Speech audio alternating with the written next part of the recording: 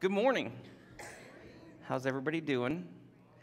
I appreciate that in my mind, at least, you say louder things to me than you did for Matt, so thank you. Um, I was going to start this morning with a funny story just so Laura could laugh, but then we have a lot. There it is, thank you. We got a lot going on. So, uh, we're going to look at the beginning of John's gospel this morning. Primarily, we'll be in John chapter 4 there's a story of Jesus. He meets this woman and he tells her who he really is, which is huge because he hadn't told the, the public yet who he really is. So we're going to look at that and, and really focus on her response to that information that he gives her. But I also want to look at another story that happens just before that of another conversation Jesus has, but he gets a very different response. As we work through this today, the question that I'm asking myself, that, that I want you to ask yourself, and I want us all to ask each other is what's your response?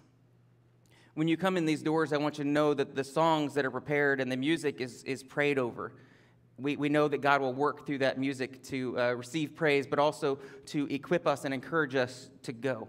I want you to know that, that when, when Brad or I or anyone else gets up here and speaks, the, the message, the scripture, the words are prayed over heavily, trusting that God will use it to help you know Him more and help you respond to Him as you go out from this building there's a, a couple verses in Romans chapter 10 that Paul wrote. He says, How then can they call on him they have not believed in? And how can they believe without hearing him? And how can they hear without a preacher? And how can they preach unless they're sent? I'm sent to preach, to use my words, my life, to share the good news about Jesus, but so are all of you. When this verse talks about a preacher, they don't just mean someone with a title, someone with stands up on stage in front of people and drones on and on for 30 to 40 minutes each week. That's each one of us are called and equipped to go out and preach, to tell the good news to the world around us. You are being sent out to tell everyone about Jesus. So what will you do? How will you respond?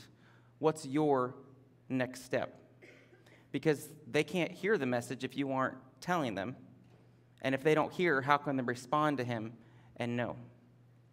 We're going to get going again, like Matt said, we're going to be primarily in John chapter 4 today. If you want to go ahead and open up to that, let me set the scene though. Something is about to happen.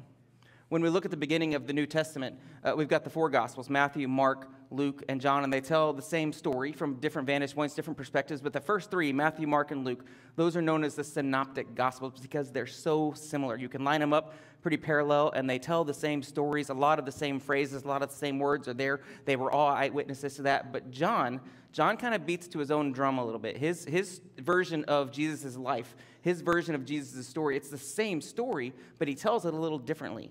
A, a different audience from a different perspective with different points stressed. John's gospel opens up with some remarks about Jesus being the Word and, and being always existing as God. Next, we're introduced in John's gospel to John the Baptist, Jesus' cousin, and a couple of, of guys who were following him, learning about the Messiah. They, they run into Jesus, John the Baptist and his followers run into Jesus, and now John's followers follow Jesus, which sounds like why would Jesus steal his cousin's followers if that was the whole plan? John didn't want to gather followers. He's pointing people to Jesus, just like we are pointing people to Jesus. And this is where we see Jesus beginning to gather those disciples, those guys who are going to spend the next three years uh, with him, following him, hearing him, seeing the things that he's doing. And these are the guys who are going to go out and be his witnesses in the world and ultimately get the church started. And that gets down to us, right, where we're sitting here as a church family in this building. Then Jesus turns water into wine at a wedding celebration. He heads on down to Jerusalem and he, he kicks some people out of the temple who were taking advantage of people, making a profit by twisting God's laws around for their own benefit. And then after that, Jesus goes out in the country and people come follow him and they're being baptized, which brings us to our passage for today. If you want to open up John chapter 4, we're going to start with just the first uh, six verses there. When Jesus learned that the Pharisees had heard he was making and baptizing more disciples than John, though Jesus himself was not baptizing, but his disciples were, he left Judea and went again to Galilee. He had to travel through Samaria, so he came to a town of Samaria called Sychar, near the property that Jacob had given his son Joseph. Jacob's well was there, and Jesus, worn out from his journey, sat down at the well. It was about noon. Jesus is tired, right?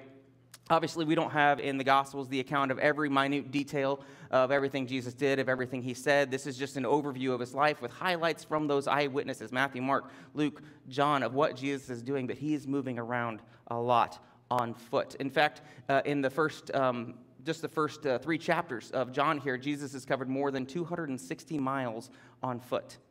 Now, he had some breaks in there. He didn't just walk 260 miles straight. He had a nice wedding celebration to relax with. He stopped here and there and went to different towns. But that's a lot of walking, right? Have you ever walked 260 miles that you know of? Like maybe in your lifetime, some of us who are really old. That's a long way. But so Jesus gets to this well and he sits down and he sends the disciples, like, go, go into town, find a Subway or a Taco Bell or something, and bring something back so we can have a meal. But there's this really cool bit here that uh, Jesus is sitting at Jacob's well, um, this historical well that Jacob dug, like Jacob, son of uh, Isaac, the son of Abraham. Uh, the cool thing, though, is that Jacob dug this well and he's in Jesus' lineage. When we look in Matthew chapter 1 and we see all those names and that he begat him and he begat him and he begat him that we skip over because the names are weird and it's tedious. Well, when we look through that, uh, there are a lot of greats here, but Jacob is Jesus' great, great, great, great, 36 greats grandfather. 38 generations of Jacob's family have come to this well, just like Jesus is sitting here now, resting and waiting. Something is about to happen. Let's read on, verse uh, 7 and on a little bit. A woman of Samaria came to draw water. Give me a drink, Jesus said to her, because his disciples had gone into town to get food. How is it that you, a Jew, ask for a drink from me, a Samaritan woman? She asked him. For Jews do not associate with Samaritans. Jesus answered, If you knew the gift of God and who is saying to you, Give me a drink, you would ask him, and he would give you living water.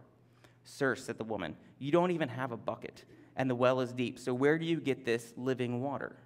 You aren't greater than our father Jacob, are you? He gave us the well and drank from it himself, as did his sons and livestock. The Samaritan woman, she comes to get some water from the well at noon. Maybe you've heard the significance of the time of day and Jesus talking to this Samaritan woman, but hear me because I'm going to tell you about it all over again. Normally, Jews would go out of their way even to avoid this region of Samaria, right? They wouldn't go through there, they'd go around it because they despised the Samaritans way back down the family tree, there was this disagreement. The Samaritans were from the lineage of Joseph, um, like Joseph of the Technicolor Dreamcoat, uh, who was sold into slavery by his 10 older brothers and basically ended up running all of Egypt, second in command only to Pharaoh during that drought. He told Pharaoh's dream and all that. So that's the lineage they're coming from. When the kingdom of Israel was divided, then after Solomon died, the southern kingdom, known as Judah, they set up Jerusalem as their capital, and that's where the temple was built. The northern kingdom, called Israel, eventually established their capital in a city called Samaria, a name that now encompassed the entire region there. There are a lot of references throughout the Old Testament. You can see some more reasons why the Jews didn't like the Samaritans, why the Samaritans didn't like the Jews. That'd be a great Sunday afternoon project for you to just go read most of the Old Testament and look into that and understand better. Um, but the point here today is that the Jews and the Samaritans did not get along to each other with each other. Jews, especially a Jewish man, wouldn't associate with Samaritans, especially a Samaritan woman. Also, this lady is at the well at noon. That's not the normal time you would go and get water. It's hot at noon, right? So, in the middle of the day, you would come earlier in the day to get your water. When it's cooler, that's when everyone's there. It's kind of the social time. You can talk to your friends, catch up on what happened with their day the day before. But this woman came at noon by herself. She's got some complications, some relationship issues in her life, and she wasn't really very accepted by the rest of her people. Coming alone in the heat of the day and working harder physically was easier for her. It was simpler, it's less hurtful. She shows up to get her water for the day, and, and Jesus is there, and he asks her for a drink when she begins to draw the water up for herself. He starts to introduce himself here by talking about living water. He says, If you knew who you were talking to, you'd be asking me for water. When you come into God's presence, do you come to him as if you're coming before the creator of all things? Or do you approach him kind of like the woman at the well did? What would your response be in this situation? this woman was very practical, right? He didn't even have a bucket to get water. The well is deep. This living water that he's talking about with no bucket, how is he going to get it? she's skeptical, right? Jews don't associate with Samaritans, so what's his angle? What's his deal? She's kind of blowing him off and dismissing him a little bit at first as if he were kind of crazy. Seriously, why was he even here right now? Is this one of those kind of hidden camera situations? Did someone put a camera in the well and it's going to pop up and gotcha type situation? But I think we do the same thing sometimes. We, we approach God with this, this edge of, of what we'll call realism or, or practicality. Like, we, we don't all the way believe that he can do all the things, right? He, he can, but maybe, maybe not all the way. Maybe we trust him a little bit, but like, really, all the things? Can, can Jesus really do all the things? I think we tend to approach with kind of a, a, genie in the bottle type situation where we, we rub the lamp and just get our wishes granted and put them back in on the shelf until we need them again later. The woman asked him, You aren't greater than our father Jacob, are you? He gave us the well and drank from it himself, as did his sons and his livestock. Well, let's look at Jesus' response, reading on from verse 13. Jesus said, Everyone who drinks from this water will get thirsty again. But whoever drinks from the water that I will give him will never get thirsty again. In fact, the water I will give him will become a well of water springing up in him for eternal life. Sir, the woman said to him, Give me this water so I won't get thirsty and come here to draw water. Go call your husband, he told her, and come back here. I don't have a husband, she answered. You have correctly said, I don't have a husband, Jesus said, for you've had five husbands, and the man you now have is not your husband. What you have said is true. Sir, the woman replied, I see that you are a prophet. Our fathers worshipped on this mountain, but you Jews say that the place to worship is in Jerusalem. Jesus told her, Believe me, woman, an hour is coming when you will worship the Father neither on this mountain nor in Jerusalem. You Samaritans worship what you do not know. We worship what we do know, because salvation is from the Jews. But an hour is coming and is now here when the true worshipers will worship the Father in spirit and in truth. Yes, the Father wants such people to worship him. God is spirit, and those who worship him must worship in spirit and in truth. All right, things are heating up, right? Jesus kind of calls her out on that husband situation. That's a really good first conversation with a stranger thing to do, right? She's been married five times and is now living with a man who isn't her husband. Culturally, that was completely unacceptable, and that was a huge part of why she was at the well alone at noon. There's even talk in another place of Scripture uh, of stoning a woman for the same adulterous offense, right? This is, this is a serious thing that he's calling her out on, a serious thing for which she's ostracized from her community. But the fact that he knew these things about her caused her to say, I see that you are a prophet. There's something about him, and she sees it, but she doesn't quite know or understand what it is a big issue that she would have had with Jews, likely the same issue other Samaritans would have had, was that the Jews insisted that the temple in Jerusalem was the only right place to worship God. Samaritans weren't allowed in the temple courts because the Jews thought the Samaritans were icky, stupid heads. So you can see why the Samaritans had this kind of pickle if they can't go in the temple, but the temple's the only place they can worship. What are they supposed to do? Well, rightfully so, they're upset with the Jews because they're prohibiting them from worshiping the God of their ancestors. But an hour is coming and is now here, Jesus said, when the true worshipers will worship the Father in spirit and in truth. Yes, the Father wants such people to worship him. God is spirit, and those who worship him must worship in spirit and in truth. That specifically located worship that the Jews held tight to in Jerusalem, confined to that one place, that wasn't God's plan. That wasn't what God intended to be the long term solution. Jesus and this lady are having a pretty serious conversation, right? He knows stuff, not just stuff, but he knows all the stuff. Then he tells her that worship is not just for a certain building, worship is not just for a certain city, worship is not meant for just one specific mountain.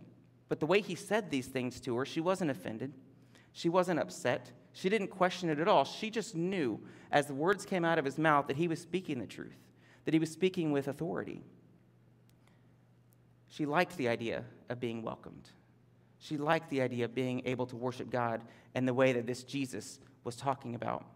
Reading on, verse 25, the woman said to him, I know that the Messiah is coming, who is called Christ. When he comes, he will explain everything to us. Jesus told her, I, the one speaking to you, am he. Let's stop there for a second. This lady is just trying to get some water. Every day, same time of day, taking care of her basic needs at a time of day when she won't be judged, when she won't be ridiculed, at a time when she can do this in peace. And this dude sitting there at the well, a Jew no less. And not only did he speak to her, this guy she had never met before knew everything about her, and now he just said, I'm the Messiah. What do you even do with that information? How do you respond when Jesus says, I am the Messiah? What's your next step? Reading on, verse 27 Just then the disciples arrived, and they were amazed that he was talking with a woman. Yet no one said, What do you want, or why are you talking with her? Then the woman left her water jar went into town and told the people, Come see a man who told me everything I ever did. Could this be the Messiah? They left town and made their way to him. Jesus just told this lady all about her past. In her own words, he told me everything I ever did. The townspeople, when she goes and tells them this, they know the things that she's done. She's done a lot of things, and they're aware of those. And this stranger from out of town came and told her, Could this be the Messiah? Jesus had just outlined this part of her life that had made her ashamed. Yet he wasn't judgy. He dropped this truth bomb on her that he is the Messiah. And it's right there, right there at the well, that she understands, that it sinks in for her to the deepest part of her being, and she believes him. His words push past those feelings of shame, those feelings that she had been made to feel that she wasn't good enough anymore. And she knows that he is exactly who he just told her that he is. She knows that Jesus is the Messiah. This man sitting across from her was there when Jacob dug that well. This man talking to her had existed always. He is the Son of God, He is God in the flesh. This Jesus is salvation. And not only that, He was there for her. But before she could react, the disciples come back. Suddenly, this lady then drops her water jar and she goes streaking back to town, running as fast as she can to tell all of them what happened and who she had been talking to. And she was so convinced, convincing to the townspeople, did you see what happened? They, the townsfolk, left town and made their way to him. She heard the truth, she believed the truth, and she told the truth to everyone so they could come and hear as well. And now loads of people are coming from town to hear this from the woman that they avoided, from the woman who was a sinner, from the woman they had ridiculed. And yet, Jesus chose that woman to be his herald. He chose that woman to be his messenger to that town. Something is about to happen. I want to jump back for a minute into that other conversation Jesus has a, little bit before this. Uh, but first, uh, I have a video I want you to check out that really helped me visualize what happens here with Jesus and this woman. Check this out.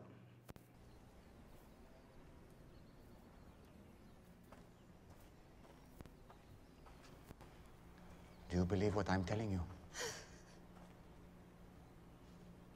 Until the Messiah comes and explains everything and sorts this mess out, including me. I don't trust in anyone. You're wrong when you say that you've never received anything from God. This Messiah you speak of, I am He. The first one was named Ramin.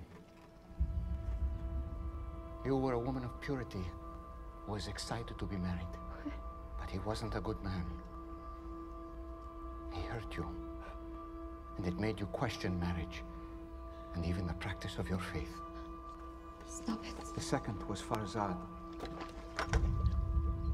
On your wedding night, his skin smelled like oranges.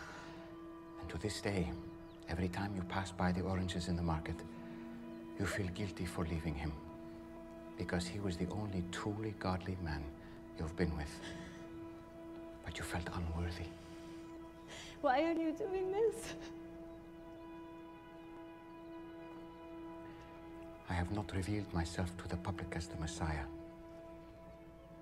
You are the first. It would be good if you believed me.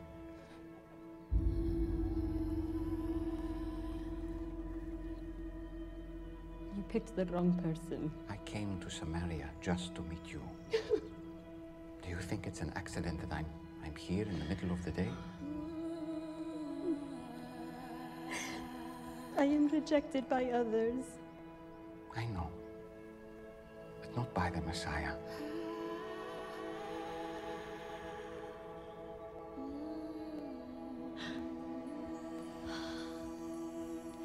And you know these things because you are the Christ.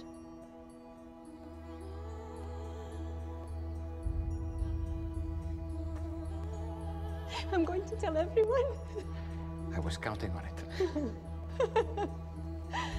Spirit and truth. Spirit and truth. It won't be all about mountains or temples. Soon, just the heart. You promise. I promise. This man told me everything I've done. Oh, he must be the Christ.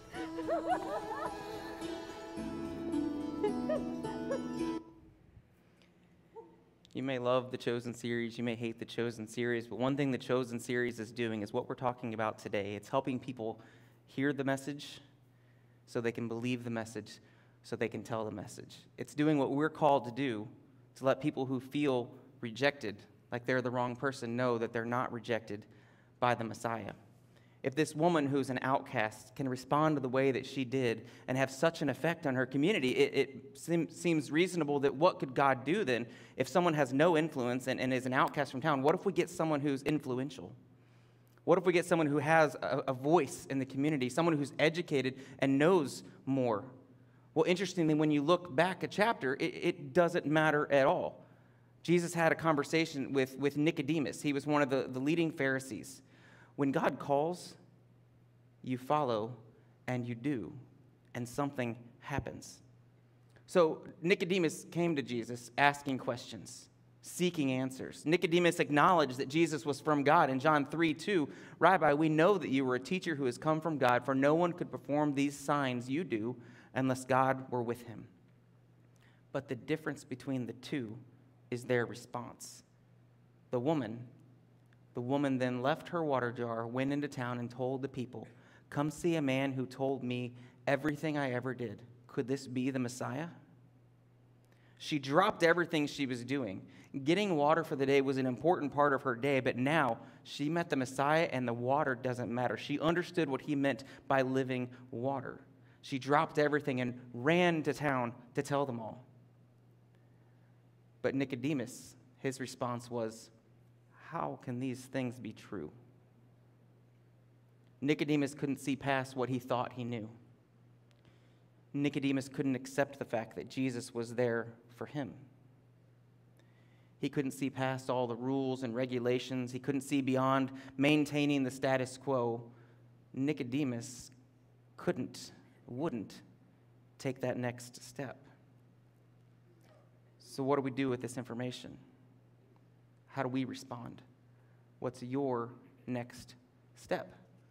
Let's read on and see what happens, but I want to skip a small section we'll come back to later and, and jump down to verse 39.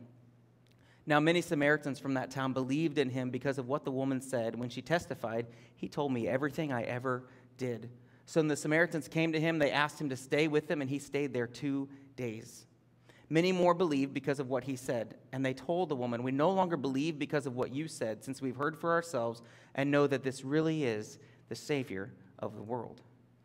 This woman believed and responded by going to tell her entire community about the man that she met, who told her in her own words everything I'd ever done.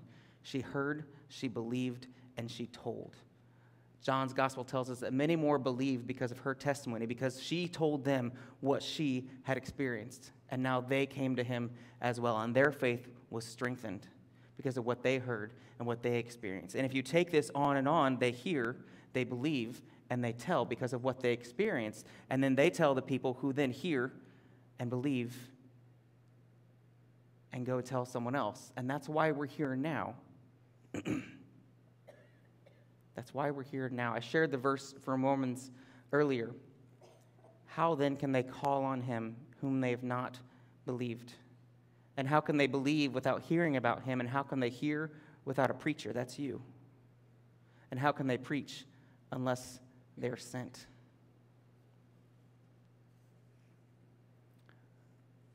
What do you do with that?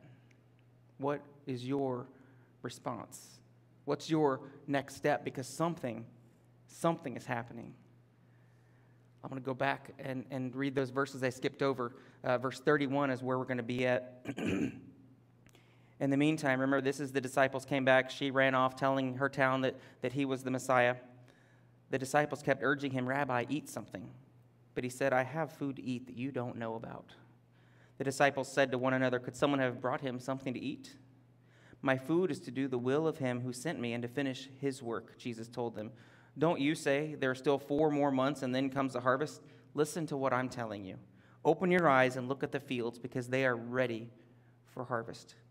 The reaper is already receiving pay and gathering fruit for eternal life so that the sower and reaper can rejoice together. For in this case, the saying is true one sows and another reaps. I sent you to reap what you didn't labor for, and others have labored, and you have benefited from their labor. I've been asking what your response will be all morning. And, and the Holy Spirit is moving in, in our church family, in our world. Something is happening. Jesus gives you your answer right here in this passage. What's your response? Jesus says, Open your eyes and look at the fields because they are ready for harvest. The harvest is ready. And Jesus isn't talking about wheat or corn or beans like we drive around all the time here in Illinois. Jesus said it himself. He's talking about people. I switched this part to the end because the end of the sermon is called the decision time, right? And this is where you have to make a decision of what you're going to do with the information you just heard, the information you just received. What's your response? What's your next step? What will you do now? Because something is happening, and you have the opportunity to be a part of what God is going to do. You can be like Nicodemus, just kind of maintain what you have and not be able to see past what you think you know not accepting that Jesus is here for you, not accepting that Jesus chose you, not being willing to see beyond the rules and regulations and the status quo. Or you can be like this woman that Jesus met at the well. You can drop everything you're doing and run, don't walk to tell the world about him. Will you pray with me? God, thank you so much for all that you've done. Thank you that we have this story of, of just this one situation, this one woman that you talked to, and how her life was changed when she heard about you, when she believed about you, and when she went and told others, and their lives were changed as well. And I pray you let us take this story to heart. God, help us to be willing to go, to be a part of what you're doing. Help us to hear, help us to believe, and help us to go and share that good news. Thank you so much for Jesus, and it's in his name I pray. Amen.